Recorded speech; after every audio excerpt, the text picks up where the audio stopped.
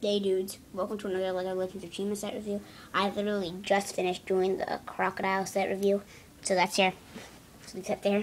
So you want to find that set review, then just uh, find it on my channel.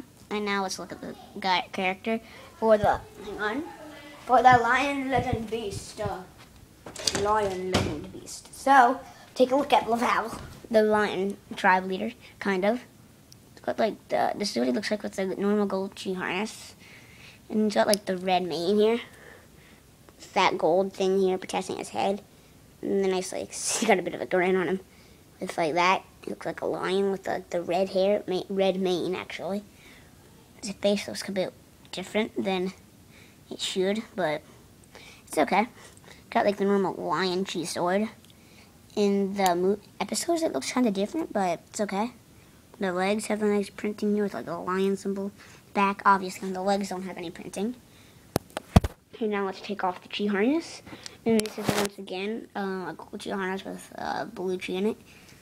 So anyway, um, you will see me be using this character a lot in my Chima series, which only episode 1 is out so far. So you want to check that out too, you can go to my channel. Um, so you can see like the chi thing here, where the chi goes in. The lion, more lion symbol with the chains and stuff. Like the, what is that? Ribbons or something right here. It's in the lion symbol there through the pants and stuff. Now it's a bit cut off. It's not exactly right on the thing with the lion symbol down here by the pants. I don't know if you could see it, but I'm just going to touch it. Right there, just by the pants and the shirt. It's not exactly right, but it's good enough.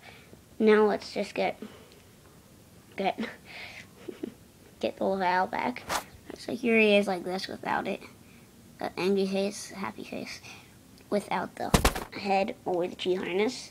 Now he has the chi harness. I mean, not the chi harness, the head. So this is what Laval looks like. Will look like most of the time in my Chima episodes.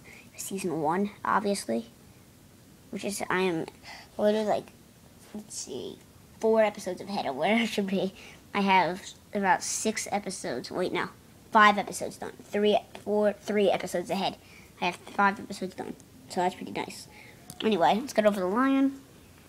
It's got like the jaws that open up here. She got the normal claws. I think the most unique legend beast in this is the eagle and the croc. And the raven, but not really anything else. The gorilla might be kind of cool too. It's got like the same thing with the feet over and over again here with like that. It's got the armor in the front legs. It's got like armor here. Kind of cool. Moist feet you know all that stuff. And then the armor with my stickers here. And then the mane of it looks pretty cool like that. It's a nice headpiece as well that you might want to look for. It's pretty cool. So anyway, let's look at the tail. Oh, really nice. And so far with my team episodes, all five are one minute, past a little bit past one minute though. So it's not bad, but it's not good either. But anyway, let's just keep it how it is and not bad. So yeah, literally it, guys. Thanks for looking at this Lego Legend of Chima Lion um, Legend Beast set review. It really is nice, appreciates me if you look at it. Please leave a like and subscribe because I only have a small channel. I only have about 26 videos, I do believe, right now. So it would be nice to get, like, maybe hit 10 subscribers soon. Um, if we do, I will make a very long episode of Chima. Hopefully going around, like, six minutes, maybe eight. So please subscribe. Please like and stuff like that if you love Chima. I will try to make the episode very long.